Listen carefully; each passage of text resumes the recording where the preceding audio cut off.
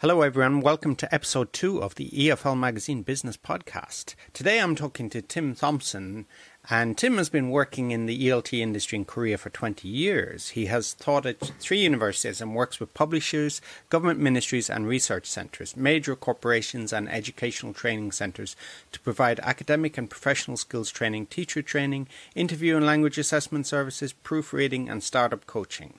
A popular conference teacher, Tim has been hosted by schools and organizations around the world for invited talks and longer training sessions.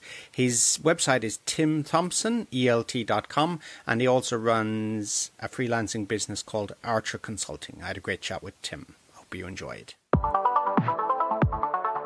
Hey everyone, buckle up for a new episode of the EFL Magazine Business Podcast, the one and only podcast made to help you launch your business or take your existing business to a level of success you could never have imagined.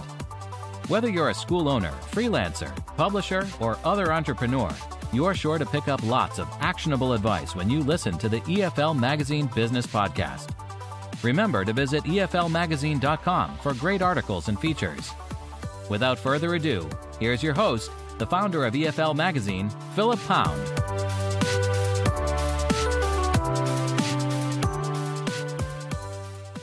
So, welcome back, everybody, to the latest episode of the EFL Magazine Business Podcast. We're really flying through them. Um, uh, another great guest today, and we have Tim Thompson. And Tim is a freelancer and educational consultant, and his website is Tim Thompson ELT. That's T H O M P S O N E L T dot com.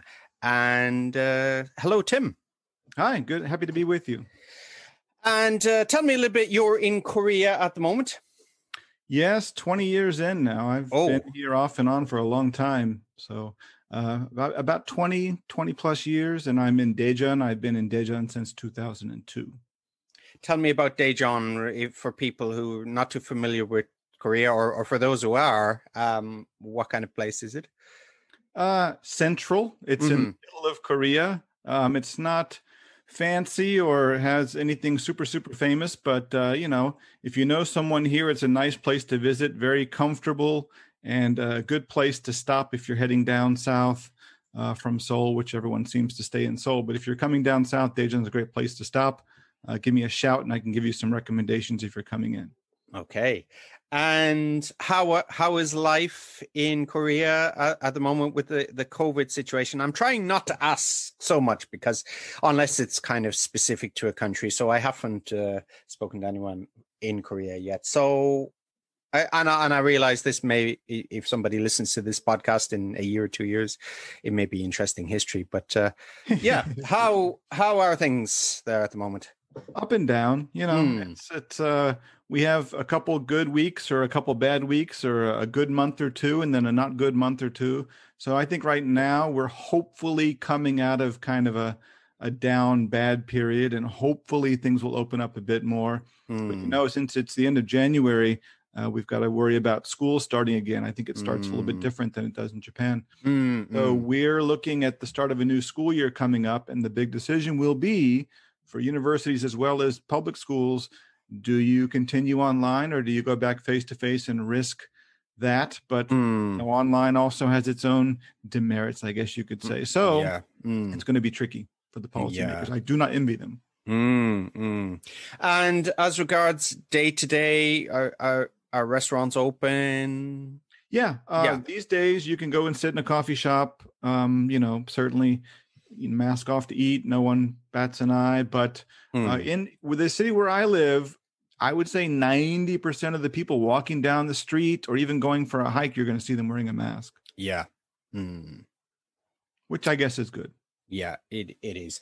Uh, so it's it's more or less the same as Tokyo. Really, we've kind of cut back on hours. So I think most things finish at eight p.m. now, or should do. Um, and yeah, the school's the same. There, it's really up in the air as to you know what's going to happen. Is going to be online or at home or some kind of hybrid model.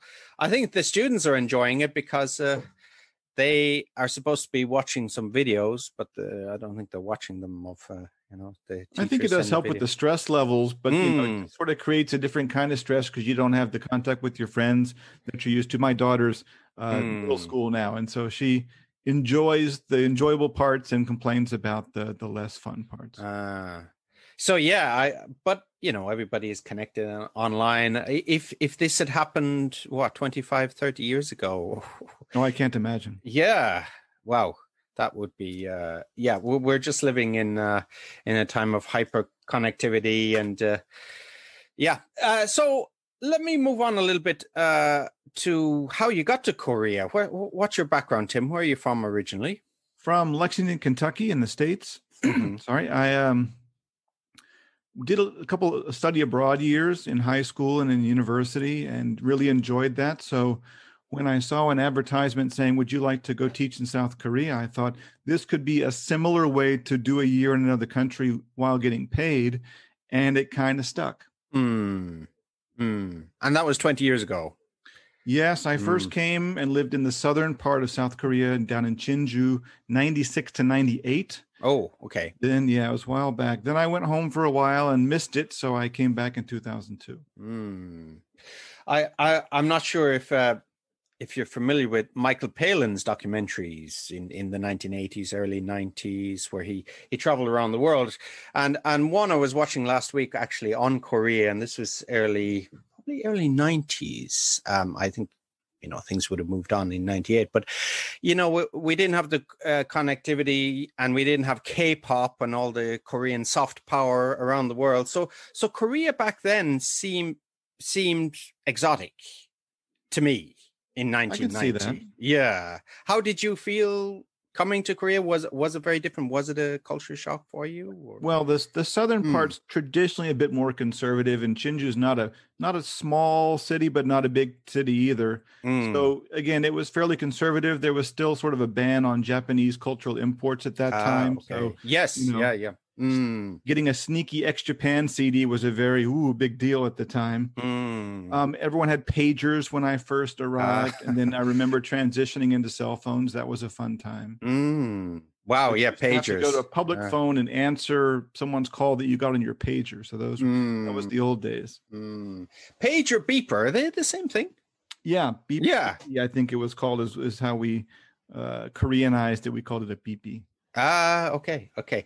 So you started, and uh, uh, where did you start? Did you start in in university? No, I uh, started. I mm. paid my dues. Come on now. I st- Okay. I, I, I suffered through a, a year in a language school with split shifts, Ah, six forty or seven forty a.m. starts and nine or Oh. ten p.m. finishes. Uh, all levels, adults, middle school, high school, children, everything. I had Ah. every book. I had every level, um, often in the same day. It mm, was really trial by fire. I had maybe one day of training. Mm, follow this other teacher around and watch what they do, and like, good luck.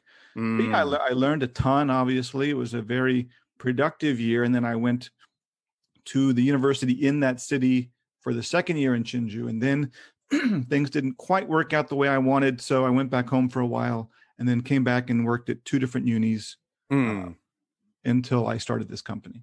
Okay, so that's a nice segue. We'll we'll move on to your starting the uh, starting your company. So you you made a break away from English language teaching. Why? Well, I I like teaching. I liked mm-hmm. and still like the idea of teaching, but you know, when you work at a university or you work inside a department, there are certain rules, there are certain management people and management styles that you know they they usually transition every couple of years and so you really don't know what you're going to get Hmm. but it, midway through the the second university job here in in Daejeon, I sort of found myself enjoying the side projects that I was doing more than the actual job itself. Mhm. And I worked for like maybe one of the, the bigger name schools in Korea, which helped a lot as far as opportunities to do other things. But Mhm. you know, you get a call to say, "Can you come in and you know sit in on these interviews and we'll pay you for that?" Or "Can you come in and speak to this group of teachers and we'll pay you for that?" Or you know, "Come in and can you can you check this editing thing?" Or "Can you help this person prepare for a big interview?" And so, like that was real. I, I enjoyed doing that quite a bit. But then the Mm. school felt like they needed to crack down and say, no, no, that's not why you're here. You need to focus on this, that, or the other. And so Mm. eventually, you know, I started planning. I don't want to say my escape, but planning my transition into this. So anyone who's who's listening and thinking about transitioning on after university teaching, I would say start your your planning quite early. Mm. I think I started maybe two years before I actually left the uh, beautiful, beautiful salaried position. Mm. Yeah, so I I can understand somebody working in a language school. the The money's not so hot, and you you want to get out. The hours are long, and uh, maybe unthankful sometimes. Uh, but you know, university teaching in Japan, maybe in Korea as well. It's it's quite okay. You know, you've got a, in in some cases it's it's a pension position. You've got paid holidays, and uh, um, it's difficult to paid leave. holidays. Yeah. Mm, yeah. It, it is it difficult to leave? What was it? A was it a difficult decision for you? Or I, I put it this way: five Hmm. years in, no regrets. okay, gotcha. Looking back, no regrets. But at the Right. time, I'm sure it was. Well, just just like your income as a freelancer, your feelings also roller coaster up and down, and you go through a myriad of emotions depending on how things are going at that moment. Obviously, Mm, uh, the last year of COVID uh, prevented me from doing a lot of the kind of things that I would normally do. mhm. and I do tend to travel quite a bit and go give talks and meet different people in, in other countries. And that was put to the side. Mm, So, yeah, this last year was challenging, but I guess the positive way to look at it is that I came out and still did okay financially and, and you turned, you know, met some new clients and things happened that were good. mm.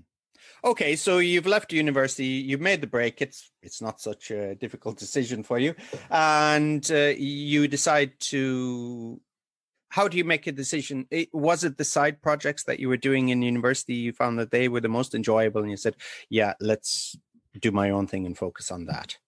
that's that was the goal obviously was Mm. to try to then build or increase on the number of side projects or the frequency of side projects or tell some of the people I was working on those projects with hey I can do more or we can turn this into something steady or you know I'm I'm here I'm available so that that was a big thing so obviously uh, while we're talking I'm going to use the word networking quite a few times because Okay. Mm, mm. critical. It is critical to um, success if you're going to start your own business or, or freelancing company. Yeah. Mm. And so you started your freelance company, and your. mm, Can we have a quick plug for your company? What's your company called? Uh, it's called uh, Archer Consulting. Um, Mhm. I chose that because I liked the the uh, idea of precision that archery entails, and uh, actually Korean Olympic team. One of their strongest Ah. events is archery, so I thought that would Mm. be a good match for the local cultural side of it here as well. Mm. Isn't there some guy? He's uh, legally blind, but he's an archer. He's Korean guy, isn't he? I don't know about that. That sounds Yeah. like maybe you know one of the other. I don't know what you call it these days, Paralympics or something like that. But their Yeah. regular men's and women's teams are very strong and usually Mm. quite well in the Summer Olympics. Mm, mm. So you got into freelancing. Uh, so we're going to talk a little bit about what you do. What uh, so presenting, r- r- m- academic writing. Is that right? That's Lots of stuff. So Yeah. Mm. here, let me tell you the good side of what I do and the bad side of what I do. Mhm. The good side is there's tons of variety. You can't get bored because I get to do a lot of different things. okay. um, in a typical day you know obviously there's some editing jobs will come in so it could be something from a huge 30 page academic paper to a short email i have different clients that will send I have different requests Okay. um, in normal times i do a lot more face-to-face teacher training or special lectures but uh, those i wouldn't say have dried up totally but it's very hard i had one canceled that was supposed to be going on right now actually that was a three Mm. week thing that got canceled kind of at the last minute because they were scared of, of covid stuff Mm. i get called in to be an interviewer for different you know english interviews and level test type things Okay. th- things that you know i had was was an ielts examiner and so that made me qualif- more qualified to do those sort of things.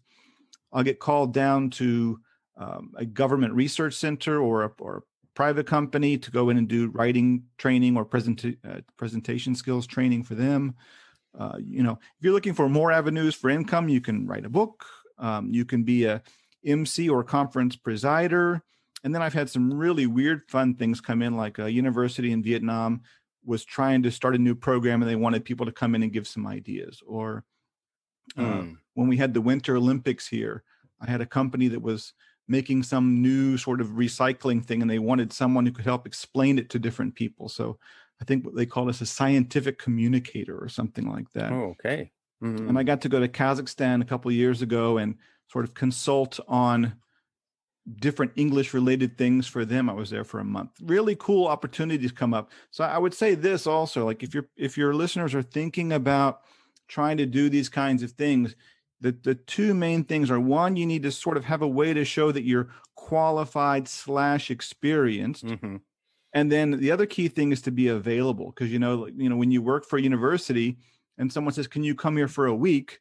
Their answer is going to be like, "Well, no, I've got to teach my classes. I can't just run off for a week." Mm. Where that's my advantage. So I'm like, "Yeah, sure. I'm I'm not doing anything. No problem." Mm, mm. So when you first started your freelancing business, uh, you you had some clients already while you were teaching, and you just quit the teaching job, or how? how Well, yeah, like I said, I mean, I Mm. was planning this for a couple of years. So Mm. certainly in the last year, when I pretty much made a decision this was going to be my last one year contract or last, you know, finish up this two year contract. Can't remember which one it was. Mhm. I started reaching out to people and saying, hey, you know, I'm going to be available. We should talk about some things. Mm. And yeah, one or you know, a couple of them actually said, okay, let's start something up. Or some people I was working with said, let's continue this. And then, you know, obviously you use social media and you let people know what you're doing. And then, you know, I actually had some friends do me some favors and recommend me for a couple of positions and Fantastic. opportunities. So really, Mm. yeah. Then again, networking, we're back to networking again. Yeah, yeah. So you you had you had some business coming in. You're trying, and you weren't shy about getting yourself out there there and a- asking the questions. And No, you can't Yeah, be. You can't you can't assume that people will just, you know, speak for you. You need to go out there and speak for yourself. Mm, mm. So that, uh, that's for for some of our listeners that may be looking to transition from uh, university teaching or or or just uh, be involved in this world in, in some way as as an entrepreneur in the ELT world. Um, t- give me some tips on networking. First of all, let's say online or in person, or uh, if you go to wh- whatever a trade fair conference. Uh, what's the Tim Thompson lowdown on networking?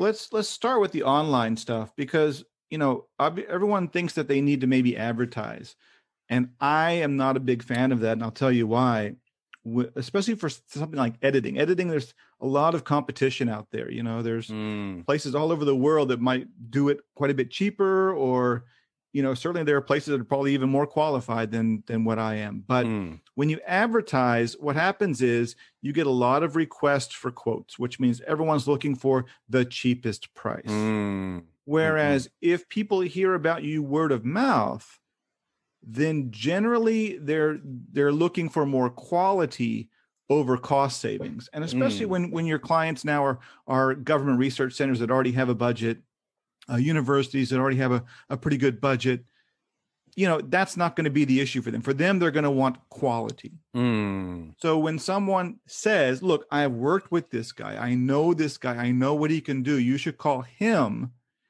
The the whole mentality of this transaction is different than if you said, "Hey, person I don't know, what's your price?" Oh, yeah, Mm. that's a little bit high because they don't know what you do. They don't know about your service, and you don't have a Mm. personal recommendation. mm, So that's for the online stuff. mm. Okay.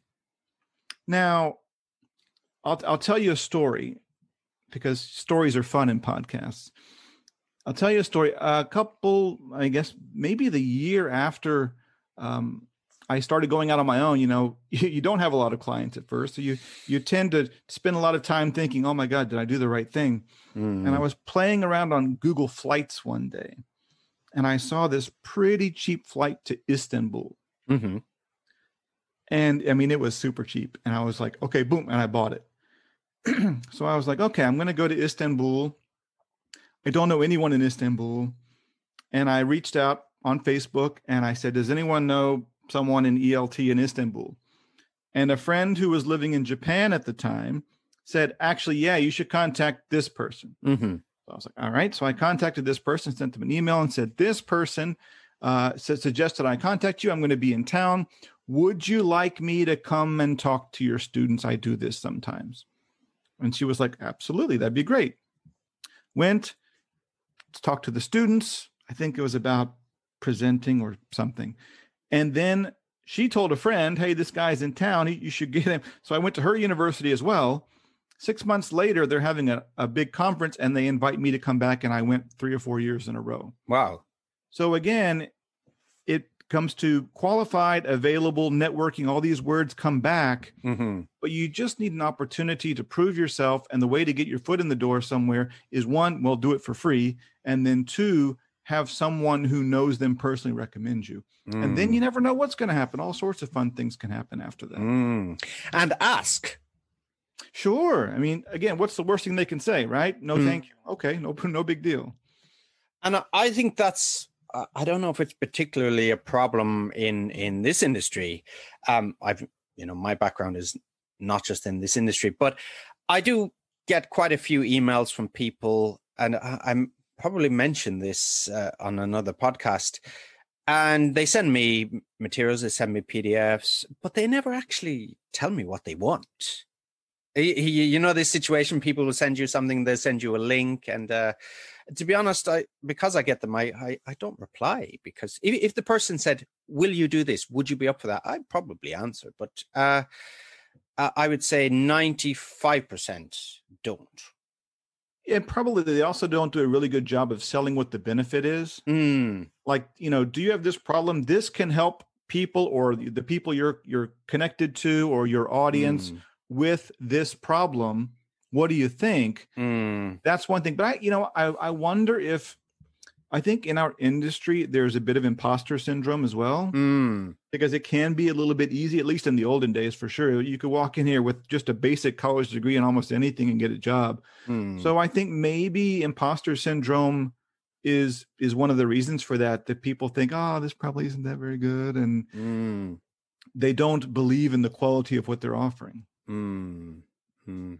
That's uh, putting it out there. it's the third podcast we've talked about imposter syndrome. I've, I've spoken uh, last week. Rachel Roberts, who's a, um, a therapist and and uh, coach in in the UK, and also uh, today I was talking to Miranda Crowhurst, and they all mentioned imposter syndrome. So yeah, no it- surprise. Yeah, and that's one thing they had to overcome. Is uh, did you experience that yourself? Sure. Uh, Hmm. Certainly, when I when I transition more into editing, Mm, because you know while i think i do a pretty good job i know there are people that have a lot more training or or much better qualifications or more experience you know they may have 20 years of experience under their belt yeah it's hard to to think oh gosh well you know what if they ever contacted those people i'm, I'm sure they'd be much better than i am mm, mm. but you know all you can do is do your best and try to to communicate well with your clients and uh, you know do things in with a, in a reasonable amount of time and be honest with your billing and you know all the all the things like that you can just do your best Mm. And you you just mentioned your clients, so that's a a nice little segue. Um, keeping clients happy. yeah well it's they're all different right? It's like Mm. it's like having a house full of pets. You love them all but they're all Mhm. going to have different needs and different uh, ways of of working with you and, and interacting with you. So yeah i have clients that are not afraid to send me a message at 10 30 p.m at night. Mhm. um, i have clients that think yeah well why why shouldn't i send him this on the on the weekend? Surely he can he can sneak that in and get it done. Then i have clients that are very very like almost apologetic for sending something in the middle of the day oh i'm sorry about sending this but you know can you do this within two weeks and you're like yeah it's going to take five minutes no problem so Mm. clients are all are all different because people Mm. are all different so the way that maybe that they've interacted with people before or they get treated by their Mm. coworkers or bosses maybe influences that it's really hard to say but their Mm. variety is the word of, of how clients uh, appear to me and yeah I, some that i work with almost on a daily basis and then there's some i don't hear from for six months and then they they pop in like hey how's how, how have you been can you do this So mm. it's it's fun. It's interesting. Mm. And managing client expectations is really important. I, I learned this lesson when I worked for online recruitment company, and you know, uh, just like you with you know client expectations, personalities, all different. It, we you could run one ad for one company. You could hire fifteen people perfectly matched for a role. You ask the client, "How did you feel about the service, eh, it was okay. You could advertise another role, they would hire nobody. And they say, oh, yeah, we really like your site. We want to sign up for two years or whatever. So, you know, it's the yeah. same, isn't it? Sure. You know, and yeah. Yeah. The, the word matching is a great word, you know, because mm. whether you're doing a job interview or you know you're trying to make your professor happy when you're a student all those matching matching is the key there matching uh, requirements, matching expectations, mm. matching what they're looking for. Mm. You know, I mean, I've I've been turned down for jobs that I, you know, didn't. I just didn't match with what they were looking for, and I get that. You know, mm. I could just leave and say, "Yeah, I'm not the right person for this job," and be okay with that. Mm. But and funny thing is, when I got got the the university job that I left before starting this company, it was because I had a friend working there who said, Look, they're going to ask you if you like teaching writing. And I said, I don't like teaching writing. He goes, Yeah, I know, but you need to tell them you're excited about the opportunity to teach writing if you want to get hired. Mm, okay. And so, again, hashtag networking, but also like their expectations were, we want someone who can come in and teach writing classes. Sure, I could also teach uh, business English classes or presentation skills classes like I wanted to, mm-hmm. but I had to say, that I was interested in teaching writing classes, and I'm glad I did because I learned a lot, and that helped me uh, with other opportunities in the future. Saying, "Oh yes, I've taught academic writing, and I've taught uh, you know re- scientific research writing and things like that." That really mm. helped out my career.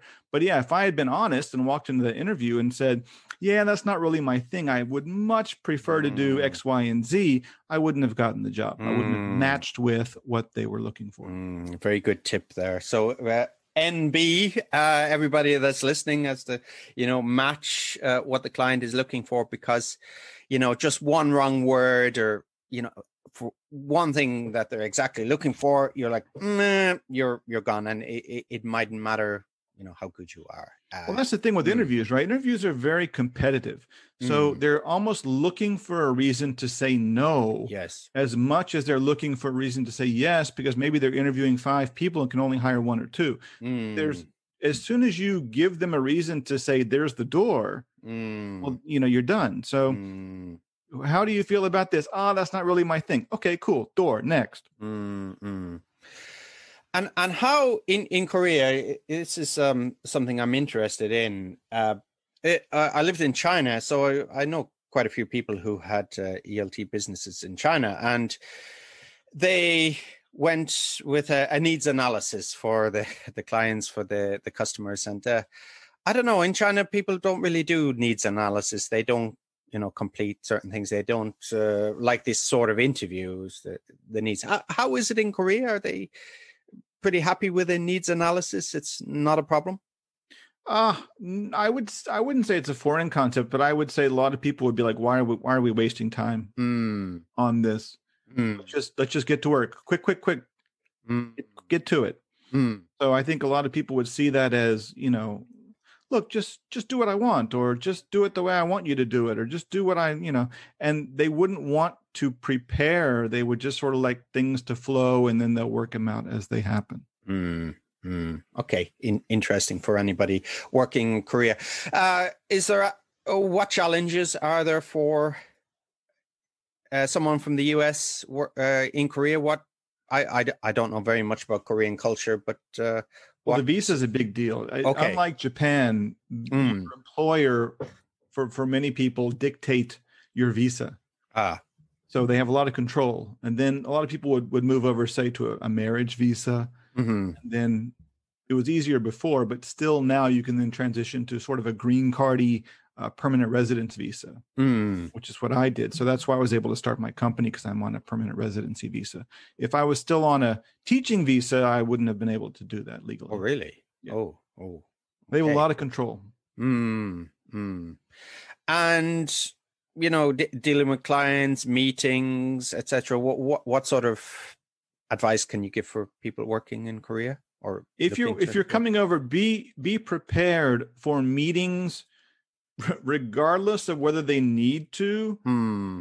uh, lasting either 30 minutes or an hour. Like they like they like and it's funny because you, you go in and you start talking to someone and then maybe after 30 minutes they they look at you like okay well you know it's time to, to go right or like things just stretch and stretch and stretch and you feel like you're wasting time until you get to an hour and they're like okay now now we can be done oh. so I, I, oh. noticed that a lot is the sort of like expectation of well well surely you're going to be free for the next 30 minutes you planned for this right mm-hmm. like well we could have done this in five but i mean okay if we need to drink the coffee and make the small talk, well, so be it. Mm, mm. So, and let, then of course, we could talk for an hour about taxes. I'd prefer not to, but certainly your tax obligations in both places are going to be something that someone ah. needs to learn about if you're going to start a, a business over here. Ah, okay. Especially. Yeah, as Americans, you ha- you still have to pay tax, don't you? If you're you're living at abroad. least file. Yeah, ah. we're under one hundred and seven thousand dollars a year, which don't worry about that. I am.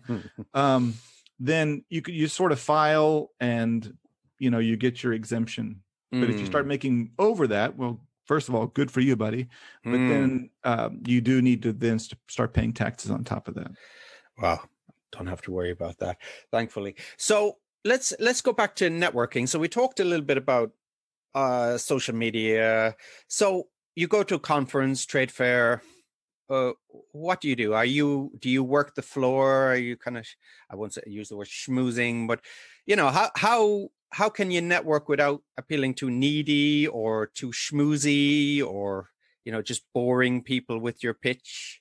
Certainly, when right you balance? go to a conference, the, mm. one of the keys is going to be either you present and then you talk to people who ask questions or stay after about what you're doing because they're obviously interested. But then hmm. certainly going to choosing the right presentation to go to and then going and then being the person that that says hey i really liked what you had to say have you thought about collaborating on this or mm. you know are hmm. you interested in doing something with that or could you tell me a little bit more about that so the, the sort of targeted targeted networking or you know hopefully you know a few people and then those few people can introduce you to a few more people is a good way to do that as well mm. Mm. so have a presentation I mean, if you don't have something to talk about, if you're just going to the, the conference to try to pounce on people, I think that's going to be kind of obvious to a lot of people. And having something to share, I think, makes it a little bit more reasonable to be there. That's just my opinion. Mm, knows. Um, so we talked about networking. Now, we different income streams. So you've got a lot of stuff going on. Tell me about that. Well, you know, certainly in the last year, um, the face-to-face training opportunities, whether it be going down and helping people at a huge conglomeration work on their presentation skills, or going to a research center and helping them, uh, you know, get their papers published. Those things were not out there in 2020, at least for me. Hmm. So luckily, I had a couple connections that they were able to help me get more editing clients and so i did a lot of editing in, in 2020 mm. so that was really good is that you know it didn't totally dry up when the big money training opportunities did and the inter- face-to-face interviewing that that was few and far between there's still a few with masks but mm. um, hmm. i you know you know how it is you sit at home in your pajamas and do editing and i did that quite a bit in, in last year okay in the beginning of this year so because you have a, a, diversified income stream, you can kind of move over in, into one area if, if another area is not. And you know, if you go into editing, mm. even if you go into editing, there's so many different types of editing. You know, mm. there's certainly the the proofreading, and then there's more you know content copy editing, and there's a lot of different things you can work with different translators who do translations, and you do sort of back end, you know, editing and proofreading for them uh, companies, universities. I'm thinking about who some of my clients are. Like, mm-hmm. there's a variety of individual people to government to the tertiary education to research. There's a lot of people that that need you know whatever they're producing in written form to be to be checked and improved and again if you know someone who knows someone, generally you can get your foot in the door. But otherwise, if they have a you know an internal group of editors, which some places do, then you know you don't want to waste your time with that because they already pay people to do that. But Mm. the the sort of medium sized ones are often looking for someone freelance to come in and help them when they need help. Hmm. Okay. So, how do you feel about working? You work from home. These, yeah, ninety percent of the time, yes. Hmm.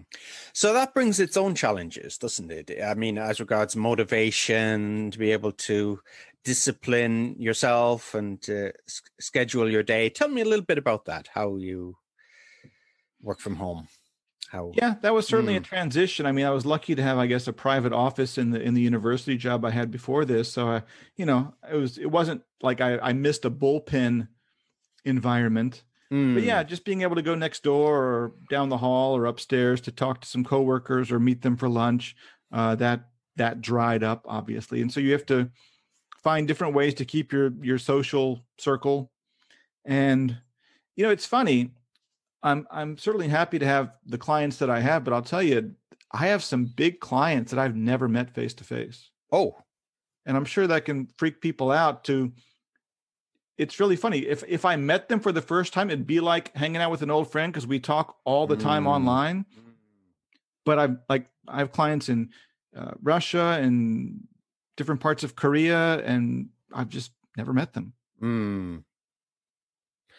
Yeah, uh, I think that's familiar. Anybody who's worked in, you know, sales or uh, especially now with, with, with online, uh, I'm sure I'll probably never meet a lot of people I, I know. It's uh, that's that's part and parcel of the the job. So, how do you f- define success? What's success for you? What's your work life balance, and uh, what brings you satisfaction in, in your job?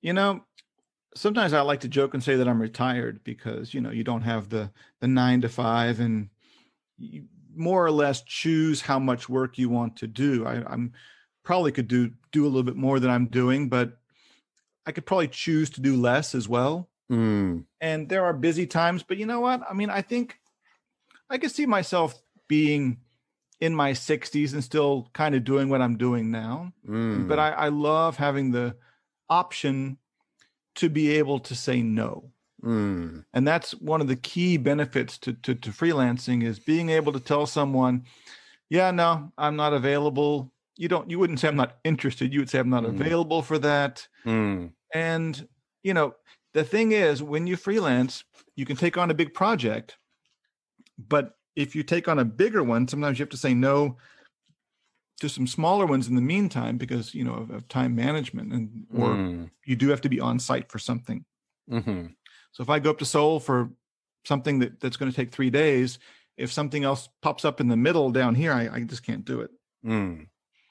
But success i think is choice Hmm. having the choice to be able to say yes or no and basically if you do have a relationship clash or a personality clash with one of your clients you know if it's with your boss at your full-time job you're sort of Mm. stuck whereas if it's with a client you can pass them on refer them or just say look I- this isn't working for me so i hope you I hope you need to find someone else Hmm. it's not firing them but it's sort of uh, a breakup Hmm. And why do you say no? What what what are some of the reasons you say no? One is maybe you get, as you mentioned, you get a better, more lucrative contract, uh, maybe longer term contract. But uh, are there other, other reasons why you say no? Uh, I think that, you know, if you don't feel like you're the right person for a job, for example, Mm-hmm. um, and I've tried, I've tried some materials writing projects, Mm-hmm. gotten my foot wet in that area, and they just kept kicking it back and going, "Yeah, that's not what we were looking for." And I'm like, "Well, man, I can't read your mind. You know, like you say these very loose guidelines, and then I I get try to get creative, and I send something to them. And they're like, "Yeah, no, not that." I'm like, "Could you be more specific?" They're like, "No, no." Uh, Well, okay, that's not the kind of project that I'm looking for. Mm-hmm. I feel like I'm beating my head against the wall, Yeah. and so I didn't enjoy that, and I probably wouldn't take on too many more of those Hmm. uh, unless they were very specific or said, here are some examples, do it like this. Okay, that's cool. But when they say, hey, man, you know, just get in the creative groove and, and produce some things and then you do Hmm. that and they're like yeah no that's not what we had in mind that's very frustrating Yeah, and I think we've all been there, haven't we? So, so you you have the luxury of being able to say no. Yeah i'm going to pass on this one Hmm. i've done that and it felt great And how important? So we talked about imposter syndrome. How another thing that entrepreneurs starting out uh, they find difficulty with is saying no because people want to take on all this stuff and say you know they get so many offers. Um, so uh, can you give any tips to our listeners on saying no? How to say no? I mean, it's easy, isn't it? Just say no, but you can some people find it difficult. you can say no when you're in a financially decent place Hmm. So obviously, having a financial cushion, you don't want to leave that salaried job that you're getting that regular paycheck unless you feel like you've got, you know, your little mountain of money you can have for emergencies, right? Hmm. So you've got to have that cushion, the financial cushion of, you know, some people say three months, some people say six months, and some Mm. people say more of what you need to have. That if things go very lean or, you know, you get hurt or there's some family emergency back home, that you can still survive for X number of, of months, right? So being able to say no if you are in if you're living paycheck to paycheck, which in this case is like month to month, Hmm. you really can't say no because you're like, I got to Mm. eat, you know? Hmm. So when something comes up that's too good to pass up, it's really hard to say no. But when, you know, if, if you know that you've, you've got a couple more papers that you're going to work on, or, you know, something's coming up next month that's going to be really lucrative, then it's easier to say no now. Plus, here's Mm. the thing this job, like what I do, there's a lot of seasonality to it. Um, Hmm. this month in particular traditionally over the past five years has been a slower month because a lot of my clients are just getting into their new budgets and sort of just coming off some holidays and there's another holiday coming up next month things really will start to pick up again late february early march so knowing that Hmm. um, when something comes up now it's it's harder to say no because there's not much else you're doing whereas if it was in that march april period where things usually start to pick up it's easier to say no because you know there's going to be some other things that that people will need you for Hmm. So there's there's an excellent tip to our, our listeners. We're we're um, speaking to Tim Thompson from timthompsonelt.com and Archer Consulting in Korea. Is have some savings. Um, we I interviewed Tyson Batino from One Coin English uh, a number of days ago, and he said exactly the same thing. He had some savings in place. He had that leeway, the luxury, and uh, the security as well to fall back on. Uh, through budget is I, have you always been a budgeter or is it moving to korea has uh, instilled this discipline into you no i'd say i've always been fairly watchful Mm. i remember when i was 18 I, I got my first sort of pre-approved credit card oh the mail, you know, and I'm a Mm. college kid. I've got no job. And I'm like, oh my God, this is this is amazing. And I remember my dad saying, you know, never spend more than you can pay that month. Mm. Because it's it's it's their money, not your money. So like use it very carefully. And I took that to heart and have been trying to be very careful, you know, and not ever put more on a credit card than I can pay off at that one time. And again, I wanted to have several months of of stashed away money that was liquid in case, you know, in case nobody called that month. And you know, in the first year or Mm. two, you never know. Like now I feel better about things because I have some steady clients. But that first first year especially, I was, you know, Mm. curious to see how it would happen, how it would work out. Mm. Funny, funny story. My dad actually confessed in the last couple of years that he gave me six months before Oh. I went back and applied for another uh, university job. oh but he didn't tell you that at the time of course Not at the time, but Yeah. he, he confessed it later, and he's like, you know, because because I'd never had to do that, so I had no idea what it entailed, and I'm he was of course proud and impressed that I worked it out, but Mm. it was kind of funny to have him admit that later. He's like, yeah, I, I gave you six months. does he come from uh business is he a company employee or Nope, educator. oh okay okay so I, I sometimes if you come from an entrepreneurial family, it's it's an advantage, isn't it? That you know you get that mentoring, and the expectation is completely different, and the attitude to risk, isn't it? Yeah, you can hear their war stories. No, I didn't. I didn't really have sort of a mentor for this. Mm. Okay, and um, um, why did did you always have a an entrepreneurial kind of we won't say gene, but an entrepreneurial itch that you want to do your own thing? Is it the freedom that is is very much a motivation for you? Yes, that was a big mm. thing. I did I did study business in undergrad, so I, I, did do marketing and management as my undergrad majors, and then did my master's in TESOL later. But mm. um, no, I I've always been curious about the business side of things. Mm. But no, the reason I I left I don't want to say cushy, but I left the stable university environment was was just being able to have more control. Mm. So again, when you have a a manager who shows you all the wrong things to do, you sort of go, you know what, I I want to be in a position where I can leave when I'm not happy, and that's where freelancing appealed to me. Mm. Mm. And tell me about some mistakes you've made not in not in your work but in in in your business and you know oh i shouldn't have done that or you know if if i were to advise somebody this is what i i would say well i'm not sure they're going to be something that would translate to to everyone else but certainly mm. I, there were a couple times where i took uh, not these aren't mistakes but i i do remember for example doing some work for free you know like mm. with some volunteer organizations and doing work with volunteer organizations can take up way too much of your time but mm. the, the good thing about doing that is you can generally get some experience that you're you're not qualified for because they're just happy to have someone to do it but then with that experience you can transition that into working with another company so for example i worked with uh, the magazine for the english teaching organization here mm. so that when i tried to work with a larger you know print thing I said, "Oh yeah, well I've you know I've done editorial work with them," and they went, "Oh okay, that's that that qualifies you." Uh-huh. But if you give too much mm. free work um, and take on responsibility, that can actually count against you later when you're trying to get paid work. Mm. Mm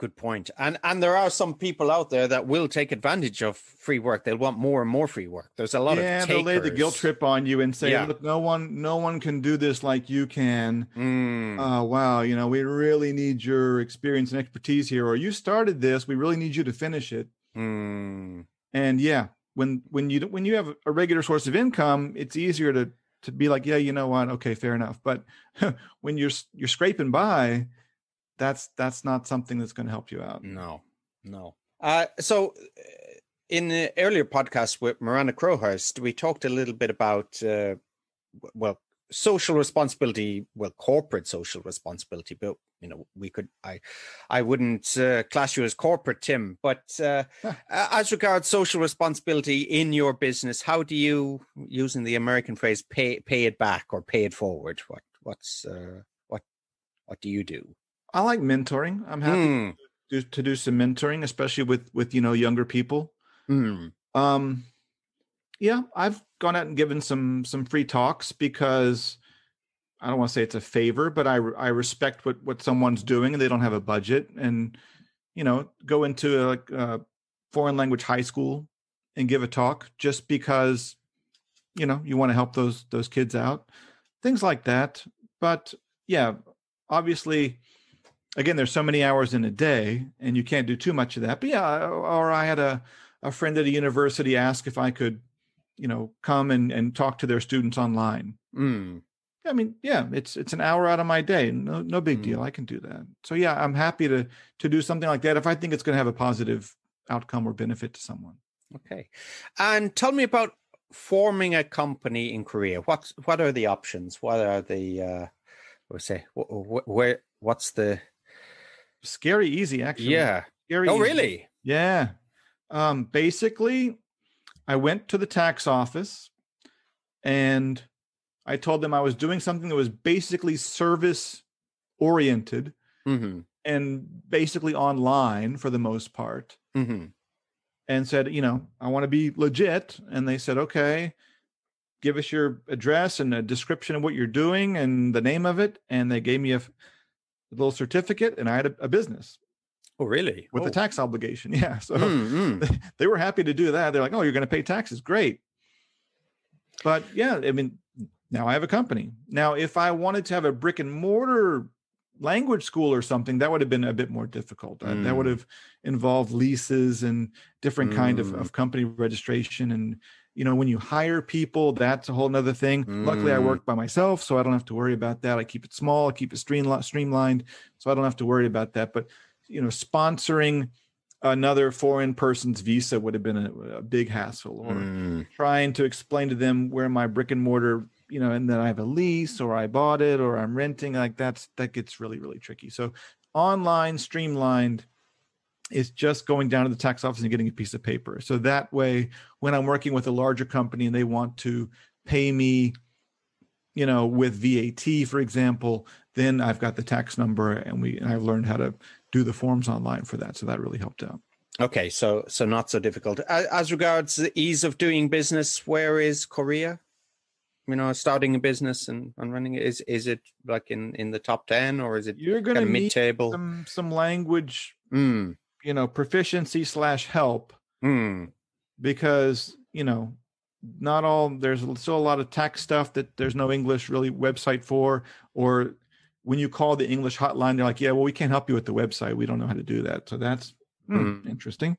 But again when you're doing english related stuff a lot of the people you're going to be dealing with are probably going to be koreans who speak a decent amount Mm. of level of english so that makes things a lot easier there's going to be some some contact at almost every company you go to that's going to be their foreigner wrangler you know so you Mm. can they, they'll be the one to meet you at the door like hey how's it going and then like we'll help you with some tricky stuff working with some of the other people in the company Mm. That's a good point. If you work in the ELT world, you're generally going to work with people who can use English. So maybe it's not such uh, language is not such a barrier as maybe other industries.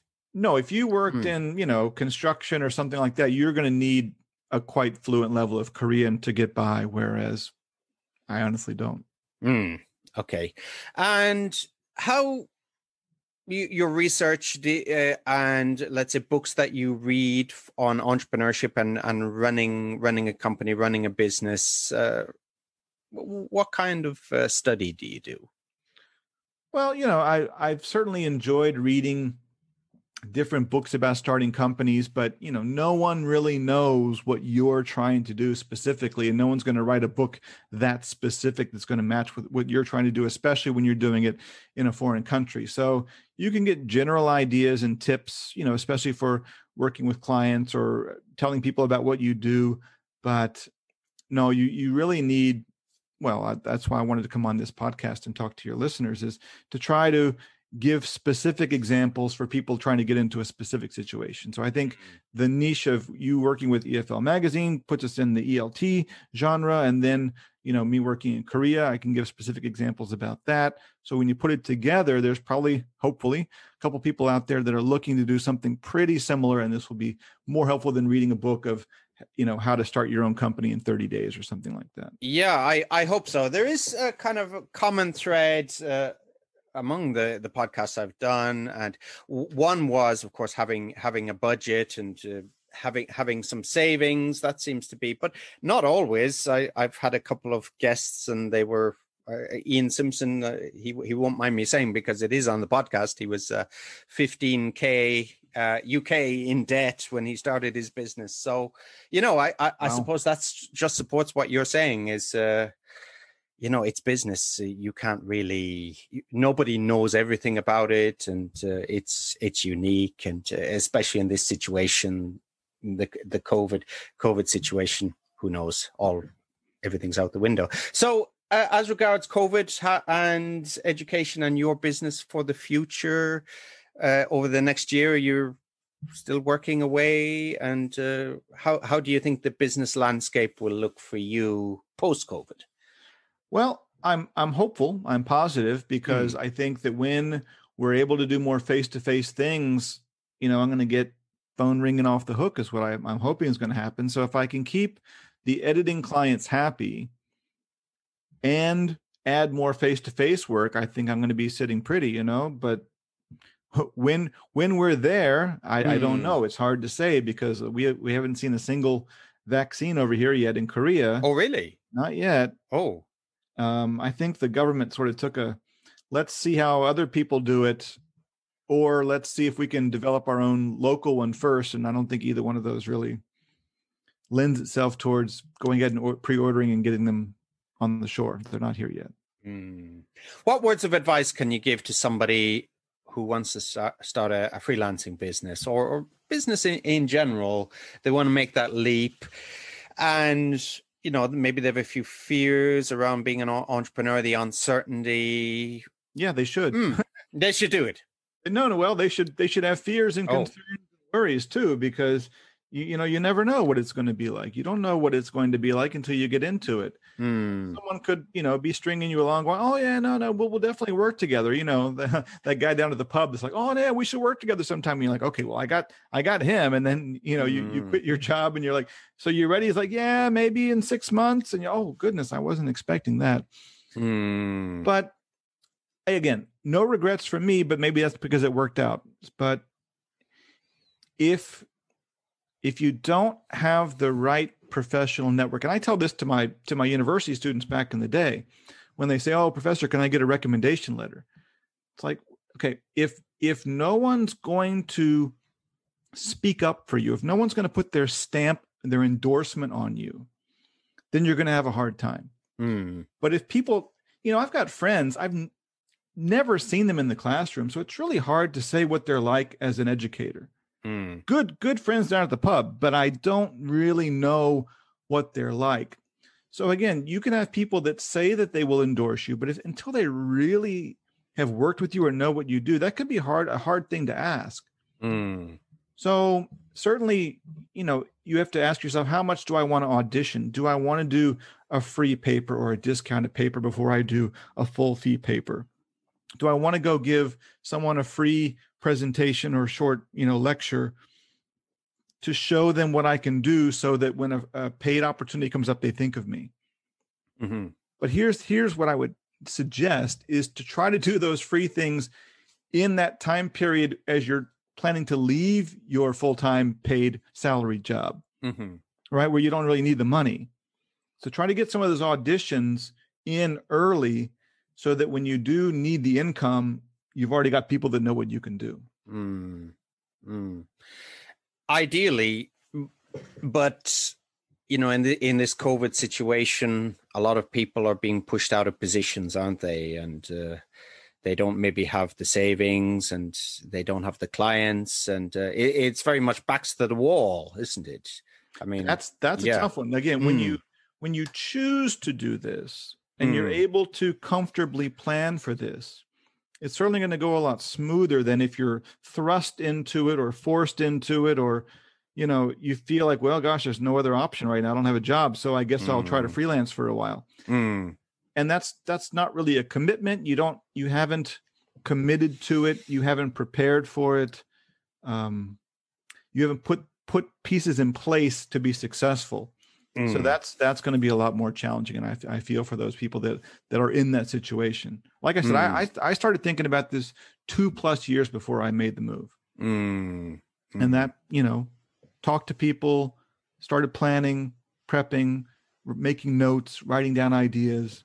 That that mm. really helped out a lot. Mm. And just a comment on the the flip side of your situation. So where you are at the moment, you can say no, you can pick and choose clients, and you can say, okay, I want to work on this, and it, it's fine. But on the other hand, if you're if you're looking to catch up in in a job, I, I speak from experience in sales and going through some tough times with the financial crisis. Yeah, uh, the worst thing is desperation.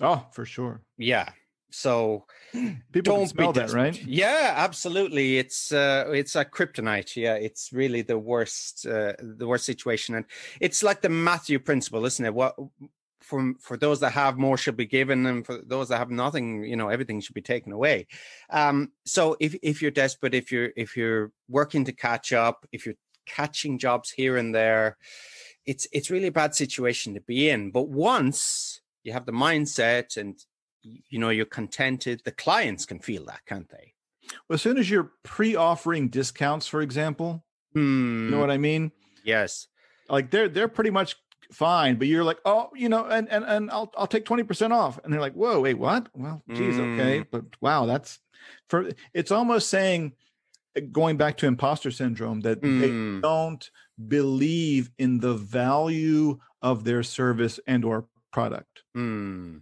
Right and, and, that's that would scare a professional a high level client off i think in a lot of cases where they're like geez yeah again you said desperate the word desperate mm. And so when you're pre-offering in, oh no, no, I'll give you a discount. Like they didn't even ask for a discount. Mm. Why would you mm. offer a discount yes. if they didn't ask for it? Mm. Yeah. And it, it's it's what would we say? It, it, can be a vicious cycle, or it can be self fulfilling prophecy. What what happens is that when when you're going well, you have more confidence in your business. You get good feedback, so naturally things will happen. You know you can afford to say mm, uh, maybe i'll come back to me and the clients will come back. But if the success is not there it's you know it's it's like eh, it's like when the the rungs of the ladder fall fall away on the in the movie. You just slide slide down and it's uh, it's it's a bad situation to be in on the you know on the flip mm. side of that going back to saying no when you say no or not now to a client what that signals is i'm very successful i don't need your mm. your job but you know what try me again later and maybe i'll be able to slide you in and they're like whoa gosh i hope i get the chance to mm. work with that person so mm. conversely being able to say no can be actually a positive in that long-term relationship because mm. now you become the the white whale right like oh i hope i mm. can really work with that person they're really busy and hard to, to, to get to work with Mm, exactly, exactly. So, if, if for for a situation like that, for somebody who's you know in business, maybe in in this situation, I, have been there. You know, I think all salespeople have been there, and I, I worked for for a company during the financial crash in in Ireland. I worked for, and I I was selling recruitment advertising at the before the crash.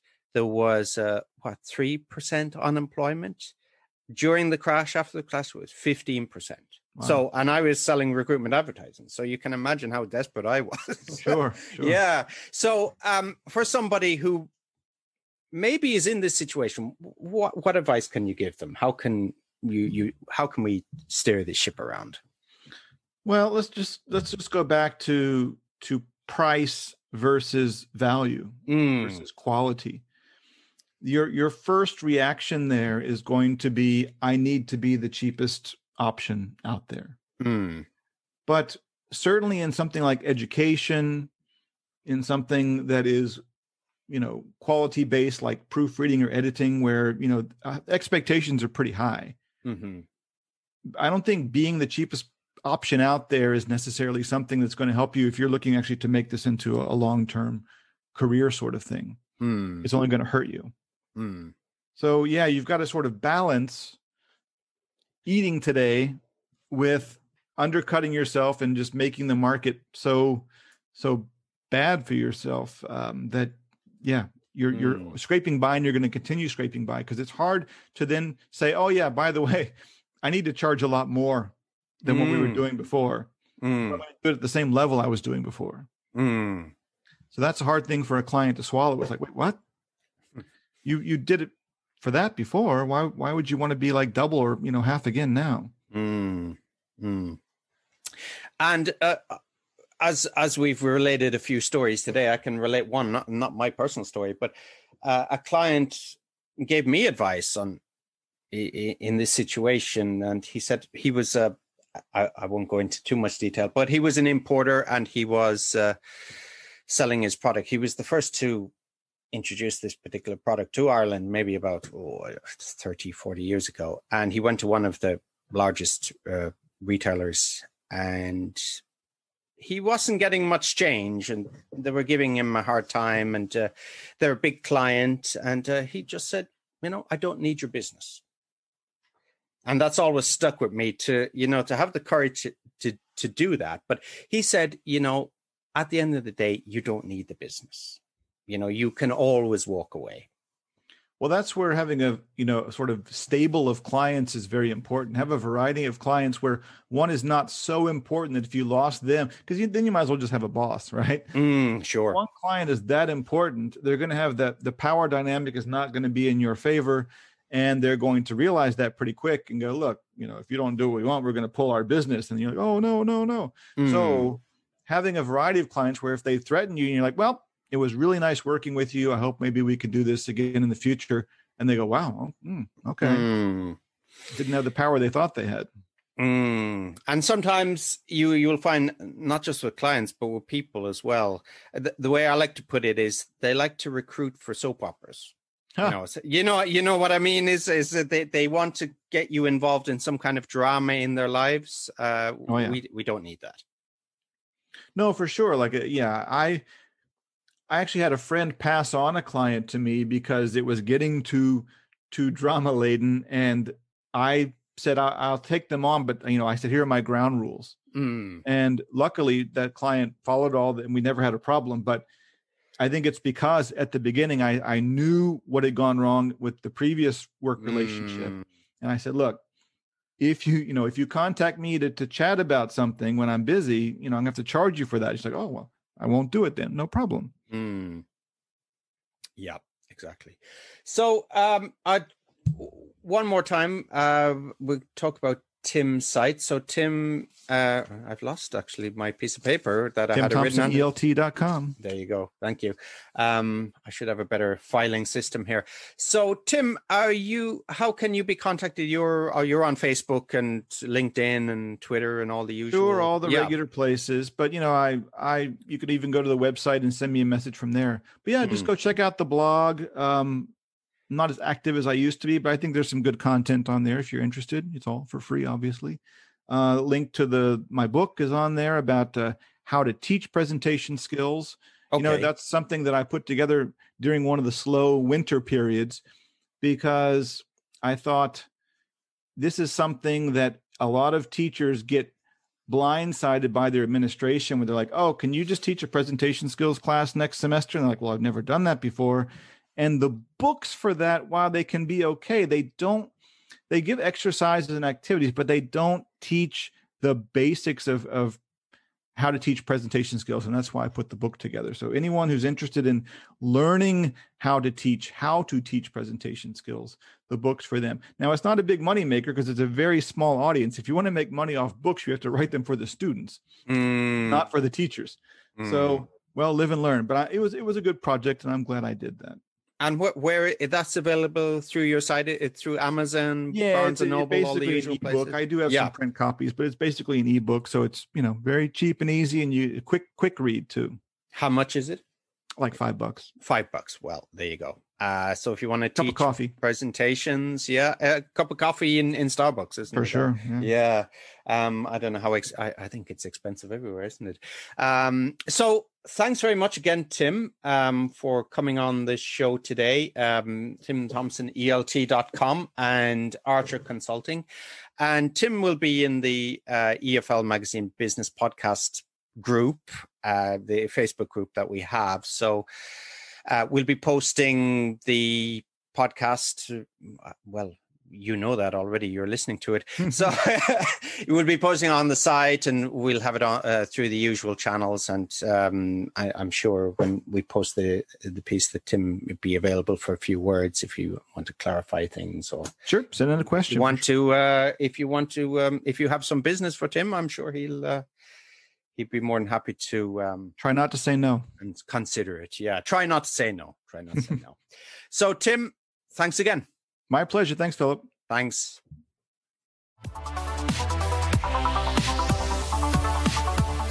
Thanks for listening to the EFL Magazine Business Podcast with Philip Pound. For more great advice and resources, check out EFLmagazine.com. If you found this podcast helpful, be sure to subscribe so you never miss an episode. See you next time.